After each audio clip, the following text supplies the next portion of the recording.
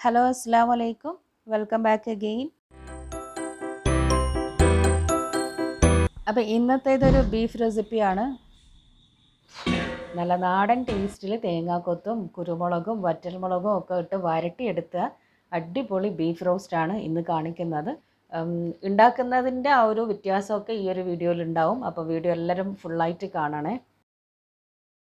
അപ്പോൾ ആദ്യം തന്നെ എന്താ ചെയ്യുന്നതെന്ന് വെച്ചാൽ ഞാനിപ്പോൾ ഒരു പാൻ വെച്ചിട്ട് തേങ്ങാക്കൊത്തൊന്ന് വറുത്തെടുക്കട്ടെ. നന്നായിട്ട് ഗോൾഡൻ ബ്രൗൺ കളറായിട്ട് കുറച്ച് വെളിച്ചെണ്ണയിൽ ഒന്ന് വറുത്തെടുക്കട്ടെ. അപ്പോൾ ഒരു പാനിലേക്ക് കുറച്ച് വെളിച്ചെണ്ണ ഒഴിച്ച് കൊടുത്തിന് ചൂടായി വന്നു കഴിഞ്ഞാൽ നമ്മൾ അരിഞ്ഞു വെച്ചിട്ടുള്ള തേങ്ങ കൊത്തിട്ട് കൊടുത്തിട്ട് നന്നായി റോസ്റ്റ് ചെയ്തെടുക്കുക. ഞാനിപ്പോൾ കുറച്ച് കറിവേപ്പിലയും കൂടെ ഇതിലിട്ടിട്ട് അങ്ങ് പൊരിച്ചെടുക്കുന്നുണ്ട്. ലാസ്റ്റ് നമ്മൾ ബീഫ് ആയതിന് ശേഷം ഇതങ്ങ് ഇട്ട് കൊടുത്താൽ അടിപൊളിയായിരിക്കും. അപ്പോൾ വെളിച്ചെണ്ണയിലാകുമ്പോൾ കുറച്ചും കൂടെ നല്ലൊരു നാടൻ ഫ്ലേവർ കിട്ടും.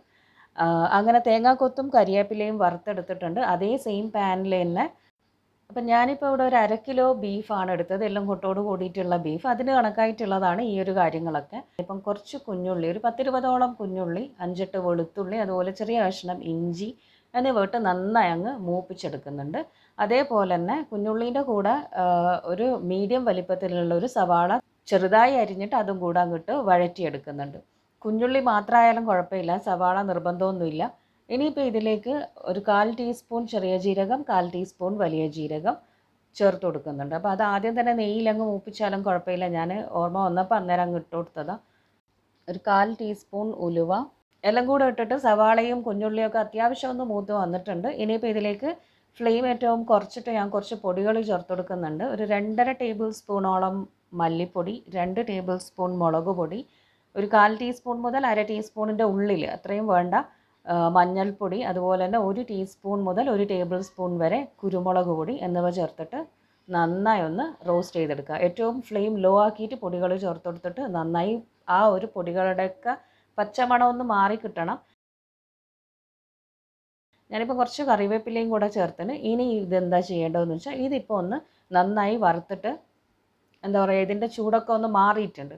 ഇനി എന്താ ചെയ്യേണ്ടതെന്ന് വെച്ചാൽ ഇതൊരു മിക്സീന്റെ ജാറിലേക്ക് ഇട്ട് കൊടുക്കുക ഞാൻ ആ മിക്സിയിൽ കുറച്ച് ആ പാൻ കഴുകിയിട്ട് കുറച്ചൊരു കാൽ ഗ്ലാസിന്റെ അടുത്ത് വെള്ളം കൂടെ ഒഴിച്ച് കൊടുത്തിട്ടുണ്ട്. എന്നിട്ട് ഇതൊന്ന് നന്നായി അരച്ചെടുക്കണം. നല്ലൊരു ഫൈൻ പേസ്റ്റ് ആയിട്ട് തന്നെ അരച്ചെടുക്കാം. അങ്ങനെ നമ്മുടെ ആ ഒരു കൂട്ട് അരച്ചെടുത്ത് വെച്ചിന്. ഇനിയിപ്പോൾ എന്താ ചെയ്യേണ്ടതെന്ന് വെച്ചാൽ കഴുകി ക്ലീൻ ചെയ്ത് വെള്ളമൊക്കെ വാർത്ത് വെച്ചിട്ടുള്ള ബീഫ് ഞാനൊരു കുക്കറിലേക്ക് ഇട്ടിട്ടുണ്ട്. അതിലേക്ക് നമ്മൾ ഈ അരച്ചിട്ടുള്ള പേസ്റ്റ് അങ്ങ് ചേർത്ത് കൊടുക്കാം. പിന്നെ ആവശ്യത്തിനുള്ള ഉപ്പ് അത് ചേർത്ത് കൊടുക്കണം. നന്നായിട്ട് ഈ ബീഫിൽ അങ്ങ് പുരട്ടി കൊടുക്കണം കേട്ടോ. ഈ ഒരു മസാല. എന്നിട്ട് ഞാനിപ്പോൾ ആ മിക്സി കഴുകിയിട്ട് ബീഫ് വേവുന്ന കണക്കിന് കുറച്ച് വെള്ളം ഒഴിച്ച് കൊടുക്കുന്നുണ്ട്. അതൊരു ഒന്നൊന്നര രണ്ട് ഗ്ലാസിന്റെ അടുത്ത് വെള്ളം ഉണ്ടാവും. നന്നായിട്ട് അതൊന്നും കൂടെ ഇളക്കി കൊടുത്തതിന് ശേഷം ഇനിയിപ്പോൾ ഇതൊന്ന് അടച്ച് വെച്ചിട്ട് ബീഫ് വേവുന്നതിനനുസരിച്ചിട്ട് അങ്ങ് വേവിച്ചെടുക്കണം. ഞാനിപ്പോൾ കുറച്ച് കറിവേപ്പിലയും കൂടെ ഇട്ട് കൊടുത്തിന് ഇനിയിപ്പോൾ എന്താ ചെയ്യേണ്ടതെന്ന് വെച്ചാൽ ഇതൊന്ന് അടച്ച് വെച്ചിട്ട് നാലോ അഞ്ചോ വിസിലിന് വേവിച്ചെടുക്കാം.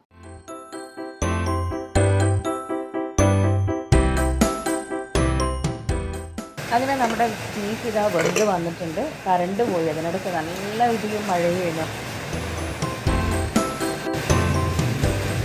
ഇനിയിപ്പോൾ ഇതൊന്ന് നമുക്ക് ഈ ഒരു ബീഫ് ഒന്ന് വരട്ടിയെടുക്കണം. അപ്പം ബീഫ് ഇതാണ്ട നന്നായിട്ട് അത്യാവശ്യം ഞാനൊന്ന് വെള്ളമൊക്കെ ഉള്ളത് ജസ്റ്റ് ഒന്ന് തുറന്ന് വെച്ചിട്ട് വറ്റിച്ചെടുത്തതാണ് ഇനിയിപ്പോൾ എന്താ ചെയ്യേണ്ടതെന്ന് വെച്ചാൽ ആ സെയിം പാനിൽ ഞാൻ കുറച്ച് വെളിച്ചെണ്ണ കൂടുതൽ ഒഴിച്ചു കൊടുത്തിന് ഒരു രണ്ട് ടേബിൾ സ്പൂൺ വെളിച്ചെണ്ണ ഒഴിച്ചിന്. അതിലേക്ക് രണ്ട് വറ്റൽമുളക് അരിഞ്ഞതും അതുപോലെ തന്നെ കുറച്ച് കറിവേപ്പിലയും കൂടെ ഇട്ട് നന്നായി മൂപ്പിച്ചതിന് ശേഷം നമ്മൾ ഈ വേവിച്ചിട്ടുള്ള ബീഫ് അങ്ങ് ഇട്ട് കൊടുക്കാം ആ ബീഫിൽ കുറച്ച് ഗ്രേവി ഉണ്ടെങ്കിൽ അത് ഇനി അങ്ങോട്ട് നമുക്ക് വേണമെങ്കിൽ വറ്റിച്ച് വറ്റിച്ച് എന്താ പറയുക എല്ലാം ഒന്ന് പരണ്ട് നിൽക്കുന്ന രീതിയിൽ അങ്ങനെ വറ്റിച്ചെടുക്കാം കേട്ടോ. അപ്പോൾ ഒന്ന് നന്നായി മിക്സ് ആക്കിയതിന് ശേഷം ഞാനിപ്പം തേങ്ങാ കൊത്ത് വറുത്തിട്ടുള്ളതും കൂടെ അങ്ങ് ഇട്ട് കൊടുക്കുന്നുണ്ട്. എന്നിട്ട് അത്യാവശ്യം നന്നായിട്ട് ഞാനിപ്പോൾ ഒന്ന് വറ്റിച്ചെടുത്തിന്. അപ്പോൾ ഇതിനി നന്നായിട്ട് ഒന്നുകൂടെ വറുത്തെടുക്കണം എന്നുണ്ടെങ്കിൽ കുറച്ച് സമയം കൂടെ ഇട്ടിട്ട് ഒന്ന് ഇളക്കി കൊടുത്തിട്ട് അങ്ങനെ വറ്റിച്ചെടുക്കാം. ഞാനിപ്പം ഈ ഒരു പരുവത്തിൽ ഫ്ലെയിം ഓഫ് ചെയ്യുന്നുണ്ട്. അങ്ങനെ നമ്മുടെ ടേസ്റ്റി ആയിട്ടുള്ള എളുപ്പത്തിൽ ഉണ്ടാക്കാൻ പറ്റുന്ന ബീഫ് വരട്ടിയത് ഇവിടെ റെഡിയായി എല്ലാവരും വീട്ടിലൊന്ന് ട്രൈ ചെയ്ത് നോക്കി. ഇതൊരു നാടൻ ടേസ്റ്റ് നമുക്കിപ്പോൾ ശരിക്കും പറഞ്ഞാൽ ഒരു വെറുംചോറിന്റെ കൂടെയും അടിപൊളിയാണ്. വറ്റൽ മുളകും കുരുമുളകും മുളക് പൊടിയും ഒക്കെ വന്നപ്പോൾ നല്ല അടിപൊളിയായിട്ടുള്ളൊരു എരിവായി. ഞാൻ ഇതിൽ പച്ചമുളകും തക്കാളിയും ഒന്നും ചേർത്തിട്ടില്ല. അല്ലാണ്ട് തന്നെ നല്ല എരിവുണ്ട്. ആ കുരുമുളകിന്റെ ഒക്കെ നല്ലൊരു ടേസ്റ്റ് ഉണ്ട്. അപ്പോൾ എല്ലാവരും എന്തായാലും വീട്ടിലൊന്ന് ട്രൈ ചെയ്ത് നോക്ക്. ഇതേ സെയിം മെത്തേഡ് നമുക്ക് ചിക്കനിലും ചെയ്യാം കേട്ടോ. അപ്പം എല്ലാവർക്കും വീഡിയോ ഇഷ്ടമായോ ലൈക്ക് ചെയ്യാൻ മറക്കരുത്. താങ്ക്